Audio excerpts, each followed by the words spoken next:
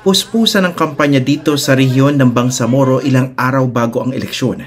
Nagkalat ang mga poster. Ang mga kandidato kanya-kanyang ligaw sa mga butante.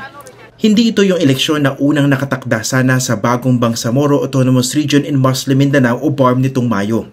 Yun dapat ang kauna-unahang parliamentary election dito. Pero minarapat ng Kongreso na ipagpaliban ito sa 2025. with, uh, correct, 15 affirmative votes, 3 negative votes, and 1 abstention, Senate Bill 2214 is approved on third reading.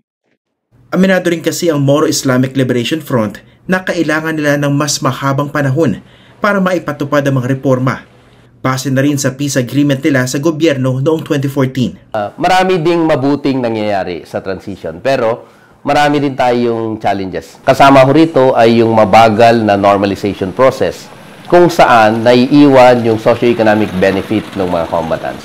Ang MILF ang namumuno ngayon sa Bangsamoro Transition Authority, ang gobyernong pansamantalang namamahala sa rehiyon. Samantala, tuloy ang lokal na eleksyon na maituturing na malaking hamon para sa pamunuan ng MILF.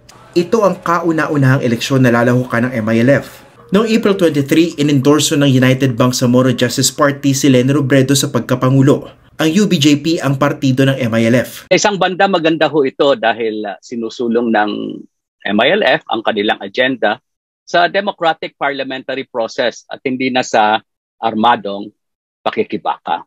Subalit merong risk o mga panganib ito sa peace process na dapat nating i-manage. Una, yung peace process ay pwedeng magamit ng iba't ibang grupo sa kampanya at endorsements. At ang risk dito ay ang franchising ng peace process na parang pag-aari siya ng partido or individual na tumatakbo sa eleksyon. Dapat nating tandaan ang peace agreement at ang BUL ay para sa lahat at hindi lamang para sa ilang partido o grupo. Kung manalo si Lenny sa BARM, pwede itong ituring na patunay ng lakas at lawak na impluensya ng MILF sa rehiyon. Apat kasi sa limang gobernador ng mga probinsyang kabilang sa BARM, si Bongbong Marcos naman ay kinakampanya. Ang founding chairman ng Moro National Liberation Front o MNLF, inendorso rin sina Marcos at Sara Duterte. Sa panig ng MILF, mahalagang usapin ang pagpapatakbo ng UBJP ng mga kandidato sa iba't ibang posisyon sa BARM. Ipinag-utos rin ni Chairman Murad Ibrahim sa mga miyembro na iboto ang lahat ng mga kandidato ng partido. Isa sa mga kandidato ng MILF si Bruce Matabalaw.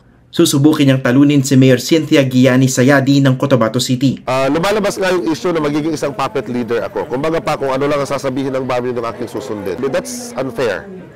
Uh, unfair to me and unfair to the MILF leadership. At tinangdis ang ayon si Mayor Giani sa pagpapailalim ng Cotabato City sa BARM.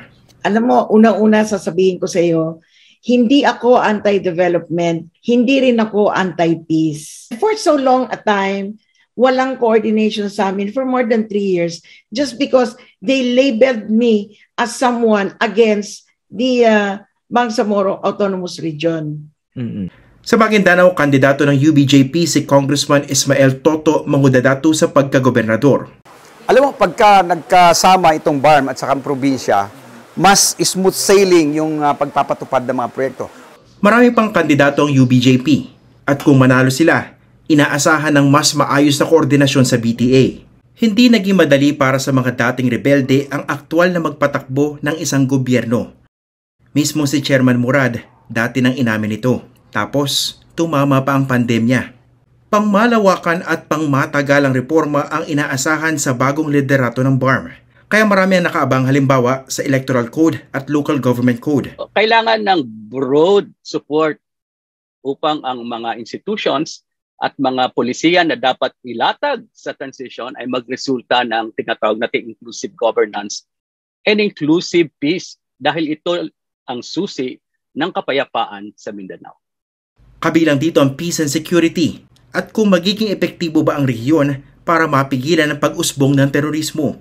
Hamon din ang decommissioning ng mga MILF combatants na dapat sanay makatatanggap ng suporta tungo sa buhay nila bilang mga sibilyan. Mahalaga rin ang pagpapalakas ng mga political parties sa rehiyon kung saan laganap ang impluensya ng mga political clans.